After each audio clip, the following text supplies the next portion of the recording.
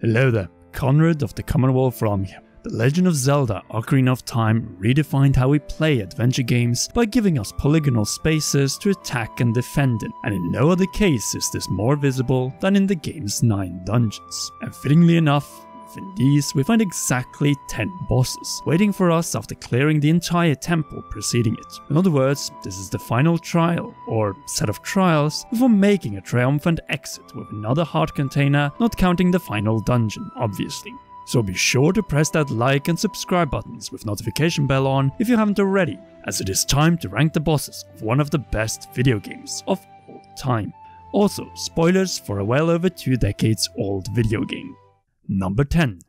King Dodongo in Dodongo's Cavern. The source of the Goron's hunger struggles is not a very good boss, as he looks threatening, but he really isn't. He has two attacks, roll you over, which you as Child Link can easily avoid by simply moving out of his path, plus make sure that he doesn't burn you. The latter attack can actually be completely avoided by throwing bombs into its mouth, a trick that would be repeated in Skyward Sword 13 years later. Both Scaldera and King Dodongo are just uninteresting fire bosses, which simply stand in your way but aren't too threatening if you know how to use bombs and avoid a charging enemy. Both are the second boss in their respective games and feel like a slight downgrade from the first battle, both in tension, setting, and overall threat level. King Dodongo is simply the piggy in the middle of two more interesting bosses, which we'll soon get back to. Number 9. Morpha in the Water Temple. The adult section of Ocarina of Time definitely holds some of the best bosses in the game, but then you have Morpha, a liquid-based abomination unleashed by Ganondorf which has drained Lake Hylia and frozen over Zora's domain, forcing Princess Ruto to head into the dreaded water temple at the bottom of Lake Hylia, where she by all means loses her life likely to Morpha. This tragedy alone brings the fight above King Dodongo for me, plus the fact that Morpha can actually grab you and throw you around the boss chamber. The long shot is your best friend in this encounter, which can either be somewhat challenging or cheesed by placing yourself in one of the corners and dragging the eye out of the abomination to slice it down with no risk to yourself, since Morpha can simply not reach you. Rinse repeat three times and victory is yours. Combining water bosses and quality seems to be a challenge for the Zelda team, and in this case it would probably have been better if Dark Link was the dungeon boss and Morpha the mini-boss who fight right after getting the long shot. Number 8. The parasitic armored arachnid Gohma inside the Great Deku Tree. Sometimes simple darkness and creepy character design is enough to leave a lasting first impression. Though it isn't the best Gohma fight in the series, the circumstances regarding the Great Deku Tree elevates the stakes of this fight. Here you have a parasite placed by Ganondorf who's slowly killing the Great Deku Tree, your father figure since first arriving in the Kokiri forest. The fight itself is rather simple though, just aim your hookshot and cause Gohma to fall down. Then slice your way with your Kokiri sword or even better use a stick combined with Deku Nuts to never face Gohma's minions. It is a super easy boss, but a memorable one, which isn't truly over until the Great Deku Tree has passed away and granted you the Kokiri Emerald. Atmosphere elevates this fight, but definitely not its gameplay design, so let's get over to a boss that is just as memorable.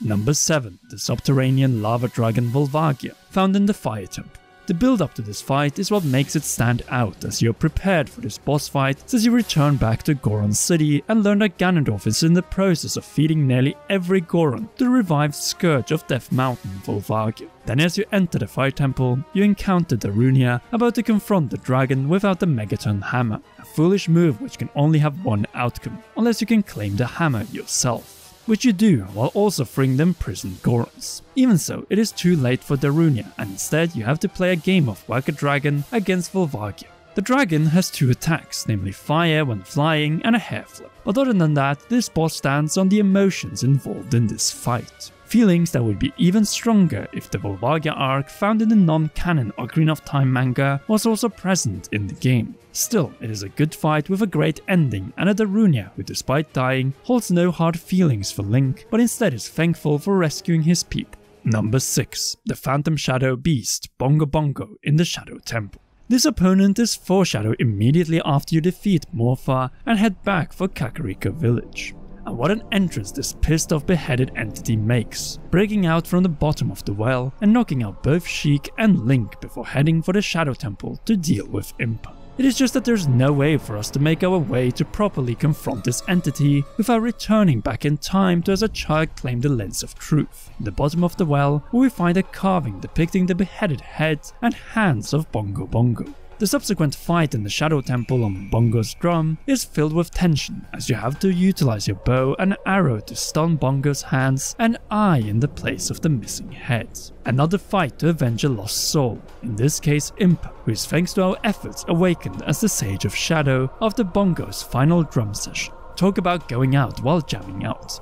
Now then, we're halfway through, and with the best bosses left remaining, it is time for a big one, as my number 5 is none other than the King of Evil, Ganondorf, in Ganon's Tower. The second to last boss in the game against the Gerudo and self-proclaimed King of Evil is the culmination of a series of loss, struggles and a determination for retribution against the individual who ruined your life. In the Zelda canon, this is the fight that creates the timeline split, as Link either wins or loses this battle, an outcome of defeat that is not seen in any other The Legend of Zelda game to this date and that alone speaks volumes of what is at stake in this battle for Princess Zelda, the Triforce, and Hyrule. The build up to this fight is absolutely sublime. Princess Zelda is kidnapped right after handing over the Bow of Light to the Hero of Time and forcing him to climb those steps to confront the self-proclaimed King of Evil. It is just that as the battle begins, it is just another round of beam tennis. And in my personal opinion, since it is for the most part this and breaking the platforms around you, this fight is not getting higher than this.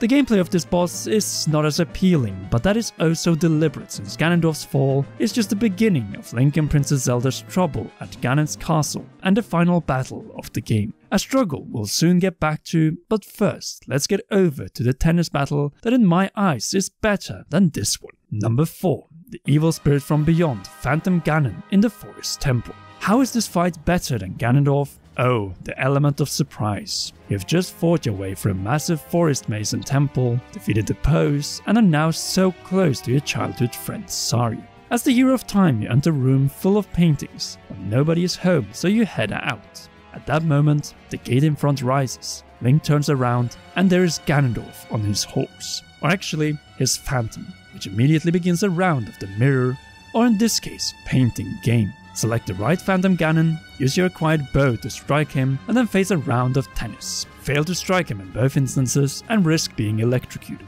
Plain and simple, straight to the point, and with a very solid ending and warning that it will not be as easy fighting the true Ganondorf. Well, at least this fight has more variety and as previously mentioned, surprise and twist, hence why it is slightly higher on the list. Number 3. The Bioelectric Anemone Barinade inside Jabu Jabu's belly. Gameplay, seriously gameplay, and a unique boss design that is disgusting and which you want to defeat as quickly as possible. That is Barinade, the boss that stands in the way from rescuing Child Princess Ruto and obtaining the Zora Sapphire so you can return back to Child Zelda. It may not have any personalities compared to most of the other entries on this list, what it lacks in humanity, it makes up for in a rather convincing spectacle. After all, this is the final dungeon boss you fight before pulling the Master Sword. And as such, this is the boss that forces you to Z-target while moving around to release its electric tentacles and jellyfish. Spinning to electrocute you, this boss can be a real threat if you haven't mastered Z-targeting, sidewalking, and the boomerang. It is a final test of your child Link's skills. That is what makes this boss fight so great. It is menacing and able to kill you in no time if you're reckless. And that is what makes this boss fight so great, including its very brutal end and engagement with Princess Ruto through the Zora Sapphire. No doubt, this fight is the polar opposite of Morpha.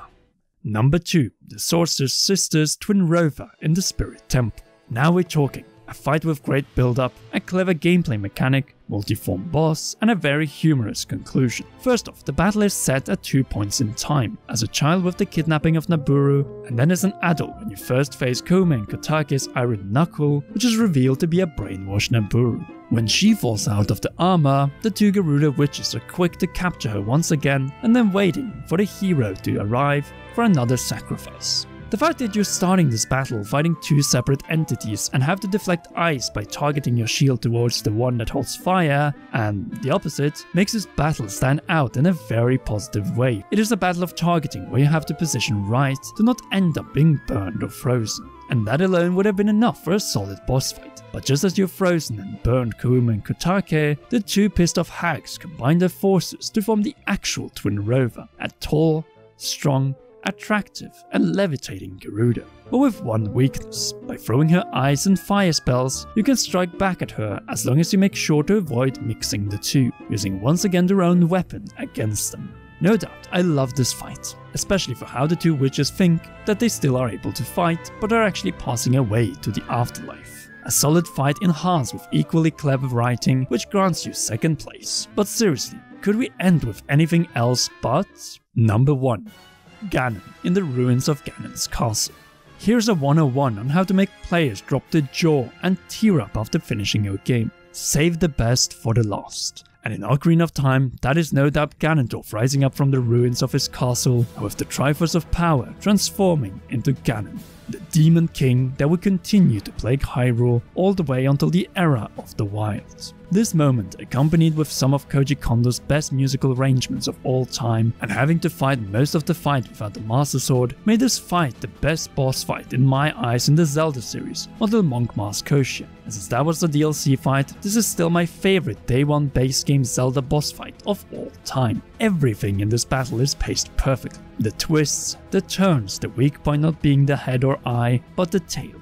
I simply love this fight as it perfectly caps off Ocarina of Time, with Ganon knocking out the Master Sword and setting up a barrier between you and Princess Zelda. Then falling to his knees as you reclaim your blade for the final portion of the battle, and finally, after Zelda uses her power, plummet the Blade of Evil's Bane straight into the beast's mouth. So damn satisfying. Then Ganondorf being sealed and threatening everyone involved in his downfall and their descendants to be murdered.